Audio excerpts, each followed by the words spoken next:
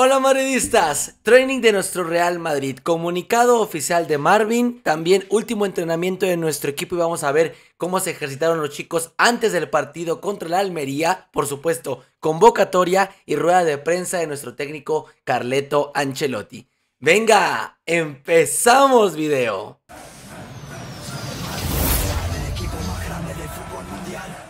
¿Qué tal madridistas? ¿Cómo están? Muchas gracias por acompañarme en un video más en el canal. Fuerte abrazo para toda la familia, carajo, son la mejor de YouTube Real Madrid. Y vámonos rápidamente con el training del día de hoy que se pone interesante. Antes que nada te pido que te suscribas también, que te la vas a pasar muy bien y la familia sigue creciendo gracias a ti. Entonces dame una oportunidad que no te vas a arrepentir. Bien, vámonos rápidamente, ¿vale? Comunicado oficial de Marvin que les voy a poner ya aquí en pantalla para que lo leamos, para que lo leamos juntos. Eh, el Real Madrid eh, y la Unión Deportiva Las Palmas han acordado la sesión del jugador Marvin para esa temporada hasta el 30 de junio del 2024. Si no mal recuerdo yo, esta, yo, eh, valga la redundancia, em, el jugador iba a formar parte del primer equipo, de la primera plantilla. ¿Qué será lo que pasó con el, con el canterano del Real Madrid? Mm, yo lo esperaba ya como un como uno de los centrales eh, después de, obviamente, la fatídica lesión de Eder Militao. ¿Qué carajos pasó?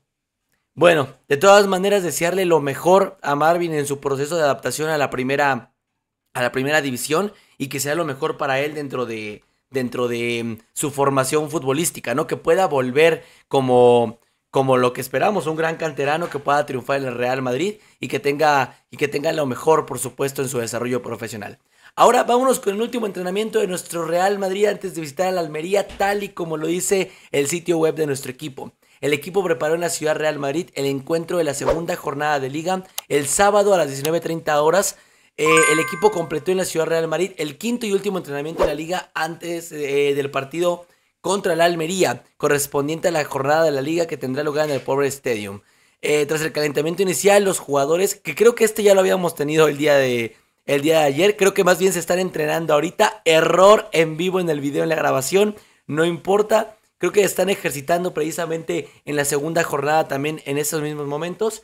Y bueno, eh, esperar que tengan la mejor de las, de las eh, concentraciones también porque pareciese que los partidos contra ese tipo de equipos siempre son fáciles, siempre son eh, más asequibles. Todo lo contrario. Yo creo que cuando nos enfrentamos a este tipo de equipos, con todo respeto, contra la Almería, contra Granada, siempre se le dificultan más a Real Madrid. Es como, como si fuese un, un cubo de rugby que de repente no le encontramos la, la, la, forma, no le encontramos precisamente la mejor, la mejor disposición y a partir de ahí el partido se comienza a tornar más largo, más pesado, más oso y luego ya no podemos encontrar eh, después de los segundos tiempos la combinación para el gol y todo se puede poner muy costa arriba. Así es que esperemos que el Real Madrid salga concentrado con la convocatoria que es así, no hay error, esa sí la tenemos eh, bien aquí y es la siguiente para que la podamos comentar entre todos. Con la foto de Vinicius también en con la foto de Vinicius en portada y del cual espero un gran partido el día de mañana,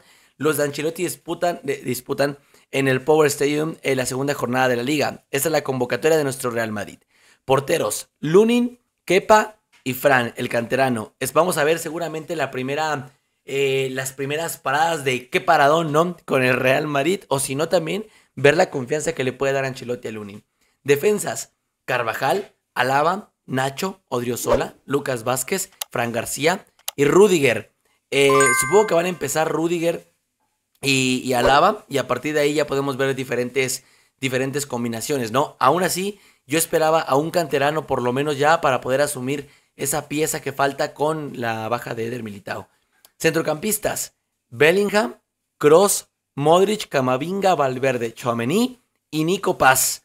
Eh, me gusta, me gusta que se, que se, que se ya tenga, se tenga Nico Paz ya considerado dentro de las convocatorias. Es un futbolista que saben que a mí me encanta. Eh, me imagino que hubiera estado Dani Ceballos y hubiera estado completamente eh, sano, pero en este momento Quiero ver por qué no al argentino también tener algunos minutos con la primera plantilla del equipo. Y los delanteros, Vinicius, Rodrigo, Joselu, Ibrahim Díaz. Vamos a ver si en esta oportunidad le puede dar em, eh, unos minutos a Ibrahim Díaz, Carreto Ancelotti. ¿Por qué no pensar que de inicio? Sería fantástico porque a mí saben que es un jugador que me gusta mucho, que de verdad confío bastante en él, que tiene mucho, mucho talento y que creo que le puede venir bien al Real Madrid un poco más de sagacidad, como, como de desparpajo, ¿no? Por aquella banda derecha. Si es que Rodrigo también lo planea poner de un 9 falso 9. Ya veremos qué es lo que planea Carreto Ancelotti para el partido del día, del día de mañana. Eh, a ver, aquí vamos a ver la rueda de prensa de Carleto. Si hay alguna de las preguntas que me llamen la atención, la voy a leer con ustedes, ¿vale? Pero creo que es bueno verlo dentro de la, dentro de la web oficial de nuestro Real Madrid. Vamos con la rueda de prensa de Carleto, se las dejo y después la, escuchamos y después la comentamos, ¿vale? Venga. Hemos visto jugar la Almería contra, contra el Rayo en, la primera, en el primer partido. Creo que como equipo es un equipo que está que tiene una buena organización, ha jugado un buen partido contra Rayo, no merecía perder, ha perdido por dos penaltis. Creo que va a ser un partido entretenido porque no es un equipo que se cierra atrás, un equipo que quiere jugar, que tiene jugadores de rápido y de calidad enfrente. Entonces, nosotros, por nuestra parte, queremos repetir el partido de Bilbao, donde el equipo ha estado bien. Todo el mundo sabe perfectamente lo que ha aportado Vinicius en estos últimos tres años, tres años a Real Madrid. Creo que ha sido el jugador que ha marcado más la diferencia.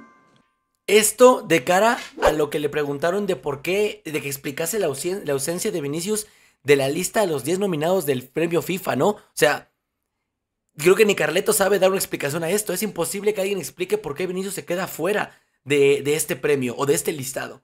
Y se encuentra, por ejemplo, y sin volver a atacar al argentino Lionel Messi, pero es que es, o sea, es una, una, una, patada en la, en, la, parte baja, ¿no? No puede ser que te hagan eso. Y más cuando Vinicius ha demostrado, por ejemplo, la campaña, incluso cuando ganamos la Champions, siendo él parte fundamental de esa, de esa conquista, no estuvo. O estuvo en el noveno lugar, algo así. O sea, imagínense.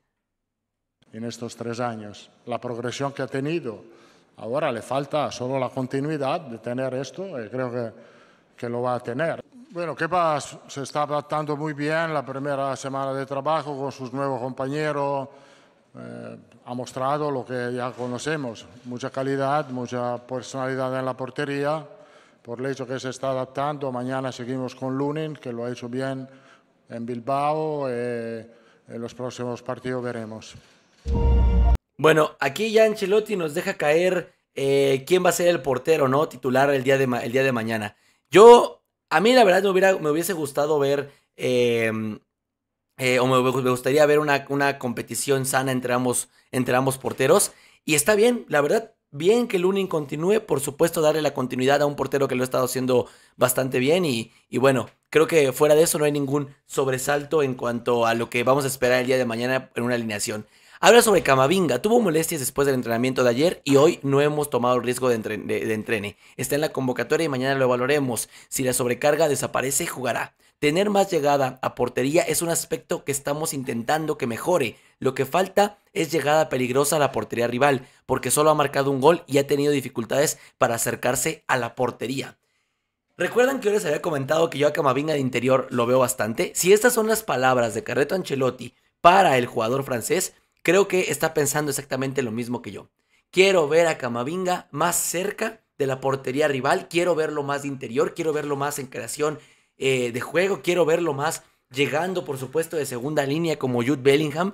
Y creo que ahí es donde Camavinga va a encontrar su lugar. Confío plenamente en el chico y confío en que va a tener precisamente lo necesario como para poder evolucionar en su juego.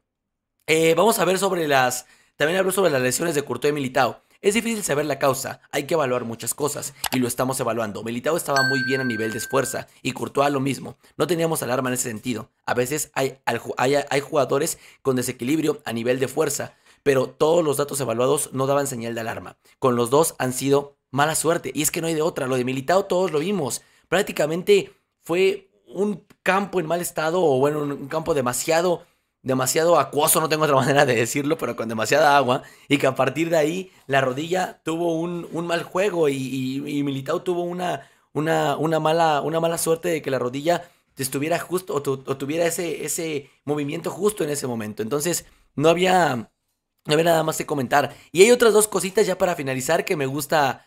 Eh, eh, bueno, tres cositas que hablamos precisamente en el, en el video previo del día de hoy. Los nuevos sistemas de retransmisión de la liga. El Real Madrid tiene su derecho ante la liga. El tribunal hace poco, hace poco le dio la razón. Para mí el vestuario es sagrado y no tiene sentido que haya cámaras en el vestuario antes de un partido. Recuerdan los que les comenté de que eh, el Real Madrid se protege a sí mismo y que principalmente Florentino protege al Real Madrid. Me parece que el equipo sabe, como dijo Ancelotti, que el vestuario es una parte importante de ello. Las conversaciones son privadas y a partir de ahí se entiende por qué el Real Madrid tiene su derecho de por qué no pasar o poder, no meter una cámara dentro del vestuario del equipo, ¿vale? Luego habla de Arabia Saudí. Está poniendo mucho dinero para mejorar su liga y tiene el derecho de hacerlo dentro de las reglas del fair play financiero. Si lo pueden hacer, es que cumplen con el fair play financiero. Vamos a ver, porque eh, según yo, la ECA es la que regula eh, este fair financiero a nivel europeo. Pero la FIFA es un monigote que prácticamente nada va a hacer en caso de que se esté saltando la, la, Liga Saudí, todos lo, los estamentos económicos a nivel del fútbol internacional. Y sobre Ansu Fati, sobre todos los rumores que han salido de la llegada de Ansu Fati, de que sí traerlo, de que tratarlo mejor en el Real Madrid. Dice, es un joven con mucho talento y va a tener un gran futuro. Aquí me quedo.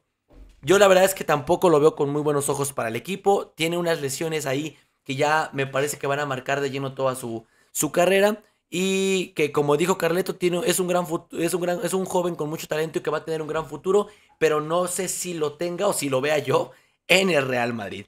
Así que, madridistas, sin más, activen la campanita, compartan el video para llegar a más madridistas.